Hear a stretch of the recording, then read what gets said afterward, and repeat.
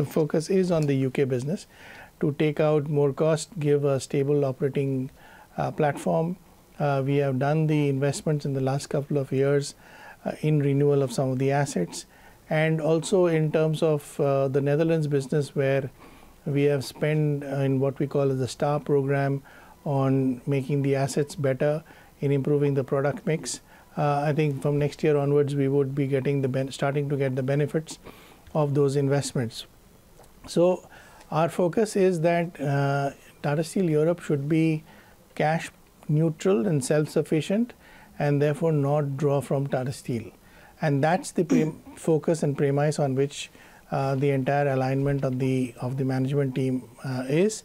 And I think uh, we should be in that kind of a position in by the end of this year, or maybe if the market kind of remains challenging, maybe a quarter later or so on.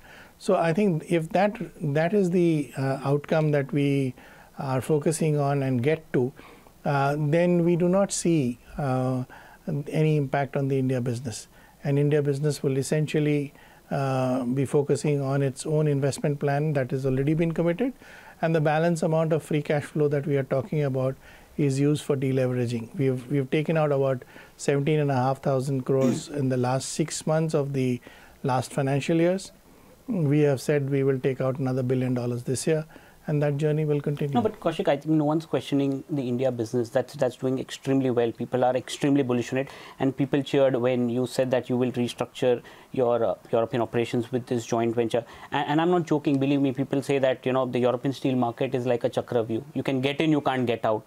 And it's been a decade, over a decade for you in that market. Uh, so somehow that's the confusion. Are you in that Chakravyuh? Are you able to get out of this? No, so I think uh, that's a, perhaps a bit unfair assessment of that because maybe distance doesn't give clarity uh, to people and they'll only look at financial outcomes. But the fact of the matter is, uh, as I said, if you look at the portfolio, when we acquired that business, we were 18 million tons.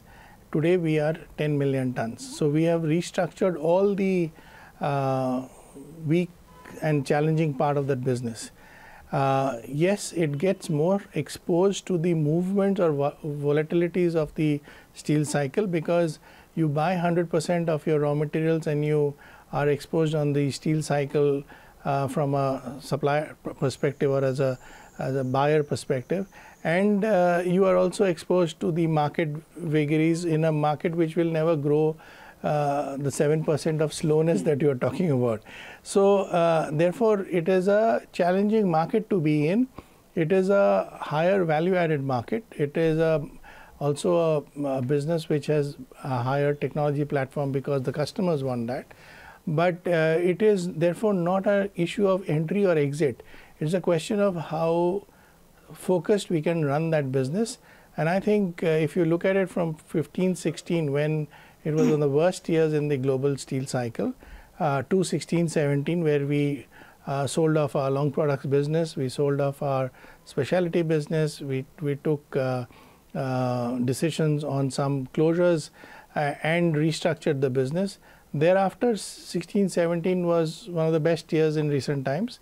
17 18 continued to be so. 18 19, when the steel cycle started slowing down, we had some impact in the last two quarters which is currently there, but uh, that's why we are renewed focus is on the operational improvements and operational improvements which are structural rather than being cyclical and uh, also focusing on getting the value of the investments that we have done especially in Netherlands.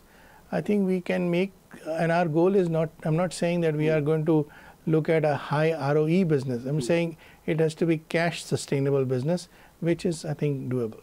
Why would you want to have that in your kitty in, in the first place? In that case, you said, uh, you know, by the first half of this financial year, we probably will have more clarity as to what you want to do with the European business, which so far has been a drag. Operationally, 9 out of 12 years, we've seen a negative performance, operational loss coming in from the European business.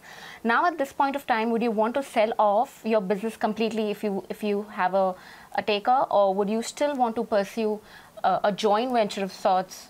Uh, and also if you're in talks with any kind of joint venture with any of the player around in that it's it's it's not so linear and easy to kind of get into uh, in a in a market uh, which is already uh, has issues in terms of its uh, future demand and so on. So I think the question is not, as I said, it's not about entry or exit.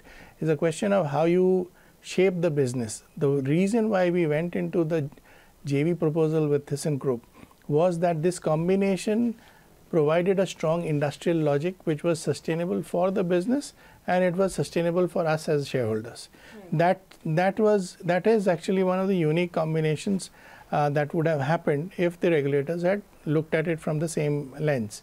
But uh, that being in the past, and that's no no longer relevant. Uh, it is a question of therefore uh, looking at making the business sustainable and valuable.